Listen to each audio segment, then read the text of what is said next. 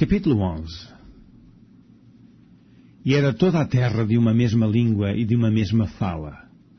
E aconteceu que, partindo eles do Oriente, acharam um vale na terra de Sinar e habitaram ali. E disseram uns aos outros, Eia, façamos tijolos e queimemo-los bem. E foi-lhes o tijolo por pedra e o betume por cal. E disseram, Eia, edifiquemos nós uma cidade e uma torre cujo cume toque nos céus e façamos-nos um nome para que não sejamos espalhados sobre a face de toda a terra. Então desceu o Senhor para ver a cidade e a torre que os filhos dos homens edificavam. E o Senhor disse, Eis que o povo é um, e todos têm uma mesma língua. E isto é o que começam a fazer, e agora não haverá restrição para tudo o que eles intentarem fazer. Eia, desçamos e confundamos ali a sua língua, para que não entenda um a língua do outro.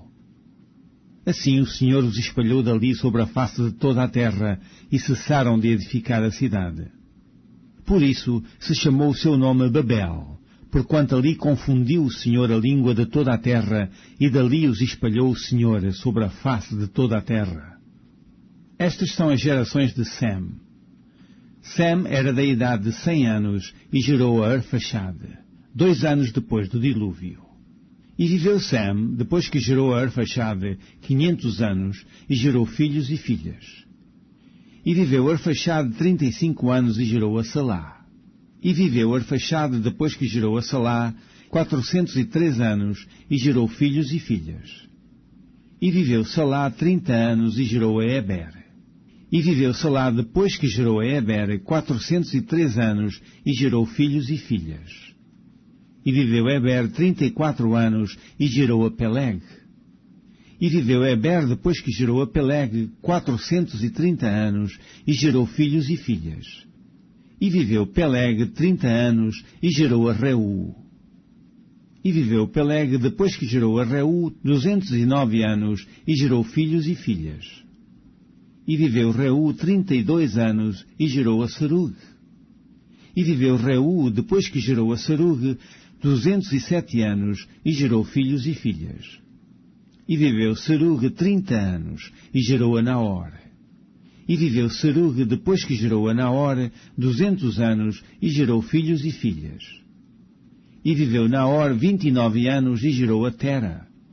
E viveu Naor, depois que gerou a Tera, cento e dezenove anos, e gerou filhos e filhas. E viveu Tera setenta anos e gerou a Abrão, a Naor e a Arã. E estas são as gerações de Tera. Tera gerou a Abrão, a Naor e a Arã, e Arã gerou a Ló. E morreu Arã, estando seu pai Tera ainda vivo, na terra do seu nascimento, em Ur dos Caldeus. E tomaram Abrão e Naor mulheres para si. O nome da mulher de Abrão era Sarai. E o nome da mulher de Naor era Milca, filho de Arã, filho de Milca e pai de Isca. E Sarai foi estéril e não tinha filhos. E tomou Tera a Abrão, seu filho, e a Ló, filho de Arã, filho de seu filho, e a Sarai, sua nora, mulher de seu filho Abrão, e saiu com eles de Ur dos Caldeus, para ir à terra de Canaã, e vieram até Arã e habitaram ali. E foram os dias de Tera duzentos e cinco anos, e morreu Tera em Arã.